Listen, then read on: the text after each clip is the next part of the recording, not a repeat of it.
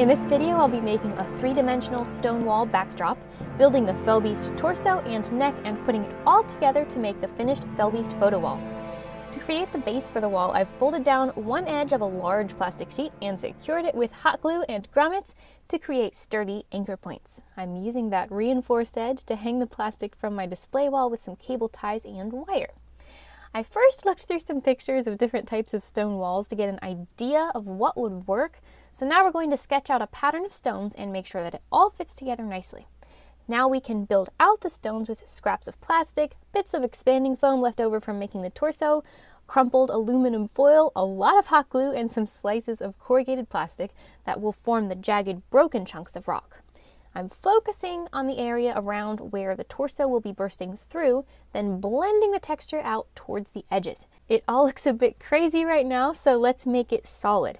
I'm using spray adhesive and scraps of thin plastic drop cloths to cover all the gaps, then hitting it with the heat gun to shrink the plastic and really define those stones. Now it's time to paint. The first coat is a light stone color, and then touch up with black at the joints so as not to lose that stone pattern. I started out trying to paint this on the floor in my tiny patio, but that was not working at all. So I had to put a few nails in the wall out there and just temporarily hang the whole thing, and that's much better. With my base coat done and the mortar lines reestablished, I wanted to start building up layers of shadows to bring out the three-dimensionality of the textured centers and to simulate depth in the flat areas. I'm using pieces of torn paper to mask off rough rocky shapes and then lightly misting on a darker granite color. Using that same painty paper, I'm dabbing more paint in some areas to add some variety. And then next up is a dark brown, which I'm applying mostly along the mortar lines and then just blending into the edges of the stones so that they appear to project more. Then more shadowing with the dark gray to blend everything together and better define the layers and cracks in the stones.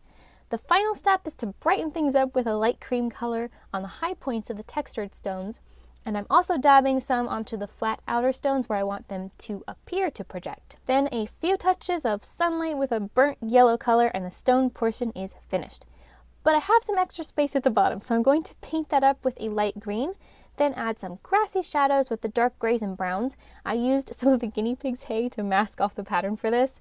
And then the painted hay looked interesting, so I scattered it back over the ground against the stones for just a bit of extra texture. Let's build that fell beast torso. I cut the base out of some thick corrugated plastic, then wrapped that in plastic poultry netting, formed the shape for the part of the torso that will be bursting through the wall, fastened everything down with cable ties, and trimmed away any excess.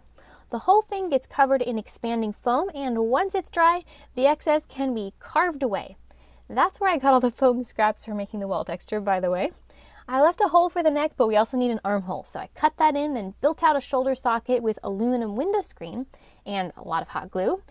Then same for the neck. I made a screen sleeve to fit the aluminum flex pipe that will become the neck, built out the neck area with some skin folds, and then did a test fit to make sure everything was gonna fit together properly before finalizing anything.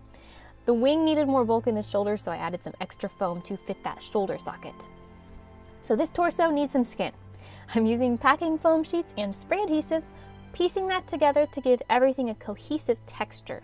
Now after the first coat of paint, I realized the shoulder looked kind of funky, so I added some more screen and foam to bulk it out more, and then also caulked the lines where the foam sheets met because the paint made the seams really obvious. So then I just repainted everything. For the neck, I cut a hole in the back of the flex pipe where it needs to attach to the backdrop and taped over the whole thing to hold the shape and cover the sharp edges. I experimented with leaving more wrinkles as skin folds, but the main issue with skinning the neck was that the perforations in the packing sheets bubbled out and made even more seams, so I think a better idea might have been to cover the body and neck in caulking and then use the foam to impress texture so that it would still make a flexible rubbery skin that the paint would bond to, but that would just avoid the whole seam issue. I added some individual bubble wrap bubbles close to where the neck meets the head to transition the textures, and also made a sleeve from window screen and packing foam with some velcro to cover the joint between the neck and the head. The neck got painted up to match the rest of the body.